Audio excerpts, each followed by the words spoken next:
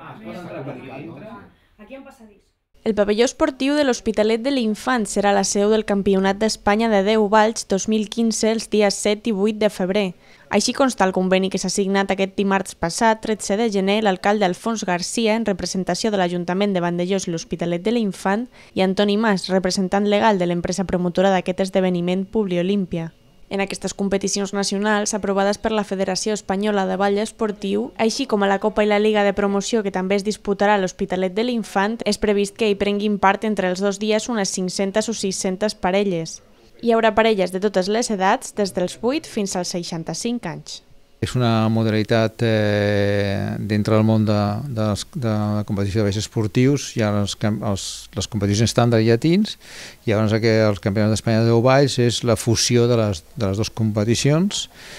i eh, les parelles primer ballen la modalitat estàndard i després ballen la modalitat llatina i la suma de les dues puntuacions és els que, els que donen els títols de, de, de campionat d'Espanya o, o la classificació final.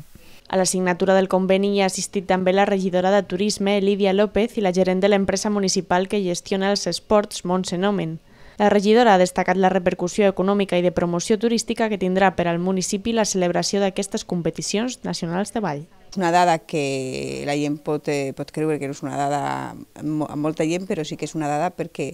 el poble tingui vida en un mes que, que normalment és, és molt fluixet, s'espera molta gent, s'espera de 500 a 600 parelles, més, més jutges, més eh, gent que pot venir